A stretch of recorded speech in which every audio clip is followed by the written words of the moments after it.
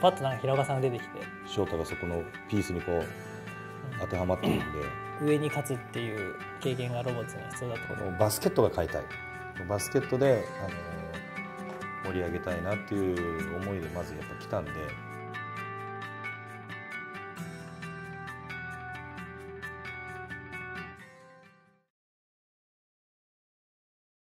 うーん。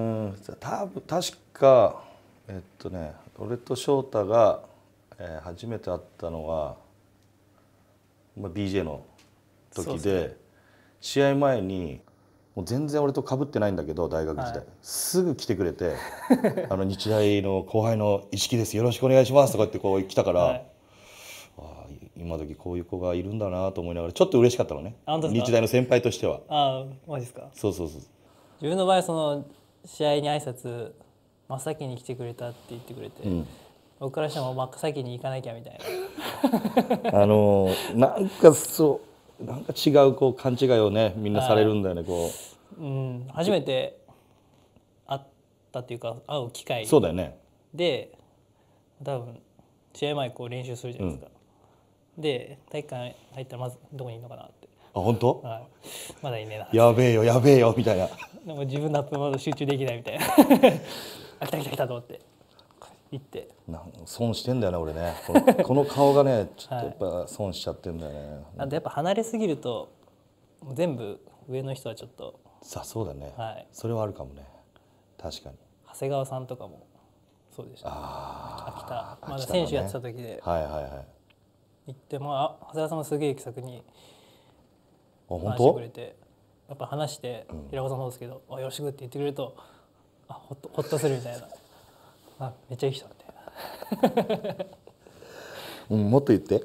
なはい。俺がいい人だっていうこと。そうそまあ本当こう初めて BJ で会ってこうして NBL まあリーグは関係なくとしてね、うん。やっぱそのまんまこうなんだろう見た感じまあ噂っていうかねこう彼ってどういう子なのっていう噂ど噂通りの子で噂ってこうどんどんどんどん悪い方に行くことの方が多いけど、やっぱりそのまっすぐな人間ってやっぱそういう噂流れないもんね。俺みたいにどっちかっていうとグレーな人間は グレーですか？うん多分ね。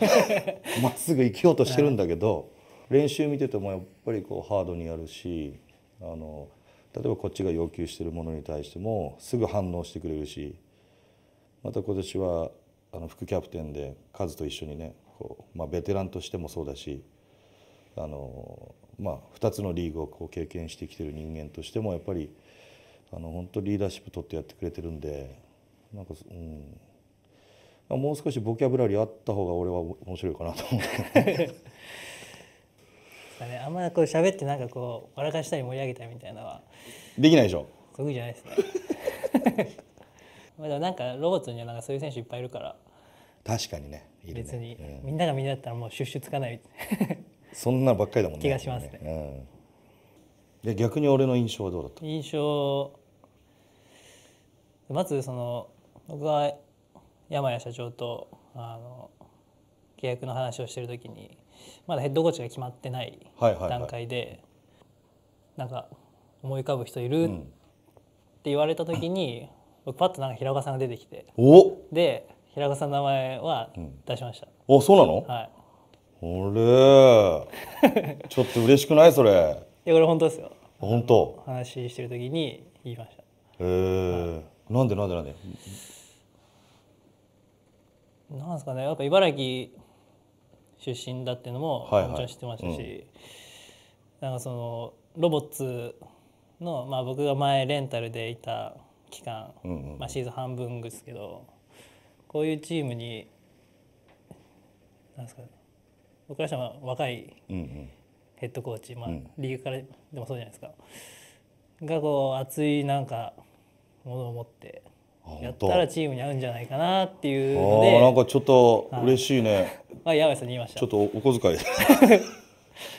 後でやりました。い あ本当。やだから本当にその平岡さんって決まった時にまあ山谷さんがどう決めたかわかんないですけど、うんうんうんなんかちょっと言ったことが現実になったみたいあ本当？な、はい、いやそれなんかちょっと嬉しいね。はなんかさ練習中ってみんな大丈夫？萎縮してない？い萎縮誰もしてないと思います。あ本当、はい。ああよかったよかった。なんかねこうちょっと飛ばしすぎちゃってるのかなとかこう、ね、こう毎日のこう練習の反省、振り返りをこうするとこうやっぱり当然コーチもあの一日一日勝負なんではい。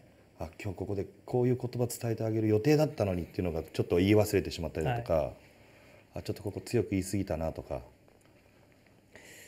なんかねそういうこう毎日こう反省ばっかりなんだけど あ一個やり忘れたとかさ。なメニューとかですか、メニューで、あのみんながこうすごくいい雰囲気でこうやってる時にうん、またこう一つブレイクダウンで戻ってそれをこう細かくやるっていうのはちょっと私の中でね流れを閉ざ閉ざしちゃうんで、たまにこう練習メニューこう作って持っていくけどそこを省いたりするんだけどはい。あやっとけばよかったなとかと思う時もあるんだけど、はい。まあ、結果的にこう少しずつこうチームも良くなってるんで、いいのかなと思うんだけど、練習ではやっぱ選手がみんな競争意識持ってうん。いろいろミックスしてやったりとか、うんやっぱ競わせるのがやっぱ多いんで、うん、そういうのはやっぱみんな負けたくない。そうだよね。で、まあ、それがいい効果出てるし自分も負けたくないと思って、自然と練習も熱入るんで。そうだよね。なるほどね。そんな感じはしています。一生懸命やってる時はもう意外にこう選手間でやってくれるからはい。こうなんだろういい時ってコーチいらないしね。上の人なんかいらないんじゃないって俺ずっと思ってたの。コーチやり始めてから、あうん、いい時はあの要はーまあそうですね。こっちもあのひらめきもいいし判断もいいし体も動くしそんなとこにまたコーチが入ってってうん。あれ？え？みたいなことを言い始めた言い始めてしまったらそれがちょっと歯車が狂って流れ悪くしちゃうなっていつも思ってたんで。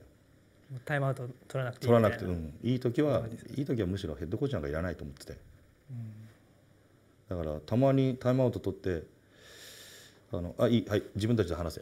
で終わるタイムアウトもあったし。はい。逆に帰ってきてベンチにこう戻ってくる時にグラーっていう時もあったし。どっちかというと7-3でそっちが多かったけど。新潟の時。新潟の時は。みたいな。怒られ役だったのね俺は。大学大学ですか？あのアルビレックスのプロの選手の時も。さすがにでも中学校の時もやられたからね俺ね。結構怒られたし、はい。高校もかなり怒られた。意外にねなんか何にもこう怒られてないようなその小さい時は、はい。意外にやられた。あやられたっていうすると語弊を生んであれだけど、はい。うん、えん？中学校がどこだっけ？藤代南です。昔から強いもんね。そうですねちょいあんまり弱かった時はないですないよね。はい。で中学校の時はどこまで行ったの？中学校の時は、えー新人と茨米ってありました。茨城毎日杯ああったあった。あ茨米でベスト8あはいで、はいはい。総体は県南の初戦で負けました。あそうなの？はい。県南大会ってあったよね。ありましたありました。美穂中でやってましあ美穂中美穂中やったやった。た変わんないですね。あそう。懐かしいです。あ県南を上がるのがすげえ大変でしたね。でもその藤代中学校の時はもうエースだったんでしょ？そうですね。うん。中心で。全部やってました。ああなるほどね。ボラコンでジャンプボール飛んで。うん。が、まあ、千葉に行きはい。千葉で花開き。なかなか花開かなかったです。あそうなの？はい千葉に行ったのもお誘いがなかったのもあってあ県内に。へえ、でどうせならもう外出てみようかなと思って。あそう。なんだろう誰も知らないとこで。勇気いるよねでもね。外出るって。はい。怖かったですね。俺も今回新潟から筑波来る時に、まあ、結構決心必要だったもんね。なんだろうちょっとこう寂しかったのはあのその筑波ロボッツ自体が、うんあのこうイメージしてた想像してたよりもそんなに盛り上がってなかったなっていうのが。街で。そうそうそうそう。ですね。うん、がちょっとこう意外だったっていうかはい。なんかあれちょっと寂しいなっていうのはちょっと感じたかな俺筑波帰ってきて。どう？実際茨城帰ってきて。帰ってきてですか？僕はつくば別に地元じゃないんですけど。そうだよね。僕えっ、となんだっけな。大学卒業してすぐ BJ じゃなくて1年空いて BJ 入ったんですお何やってたの何やってたのすっごい気になる。つくば記念病院。はい。わかりますか？はい。西大通りの。はい。あそこに最初勤めたんですえちょっとちょっと待ってちょっと待って。これすものすごい意外な、はい。え何やってたの？あの今ちょうどウェイトで使ってるフィットネスジムがあるんですけど。はいそこでなんか体操のお兄さんみたいなインストラクターでひろみちお兄さん？そうです。ストレッチありますっつってこう結構年配の方が多いんで一緒にストレッチやったりへ器具えの使い方教えたりとか、ゲイ意外。あでもなんかそれそれっぽい。うん、それっぽいそれっぽい。き決まったじゃん。次のセカンドキャリアも。体操のお兄さん。あマジ？はい。もちろん大学卒業する時に進路やっぱバスケやりたかったんですけどなかなか行き先もなくて。あそうなんだ。はい。どこにも引っかからずニートになるわけにはいかなじゃあその間そのまあ地元に帰ってきました。1年間は働いてましたの間は、まあ自分でクラブチーム行ったりそうですね仕事も半年で辞めちゃったんですけどほ最初はもうずっとややろうかなバスケもやめていっかと思ったんですけど、やっぱなんか同世代のやつらが NB あその JBL かトップリーグ入ってやるのをこう見ててやっぱなんかちょっと悔しかったし自分まだいけんじゃないかなっていうのが考えたらもう,、もう仕事なんかやってる場合じゃないと思いな出して、ね、でそこからトライアウトを受けて、うん、でまあ、すぐ千葉のチームに入れてよかったんですけど。あなるほどね、はい。すごいね。まずそこが一回筑波にワンクッもション。戻ってきたと。へはい。えで千葉で4年うんうん。やって、まあ途中レンタルで来たりとかもあったんですけど、まあ、今年、まあ、正式に茨城に帰ってきたっていう感じで、家族はまあ喜んでくれましたね、あ家族はもうずっといいたわけだね。はい。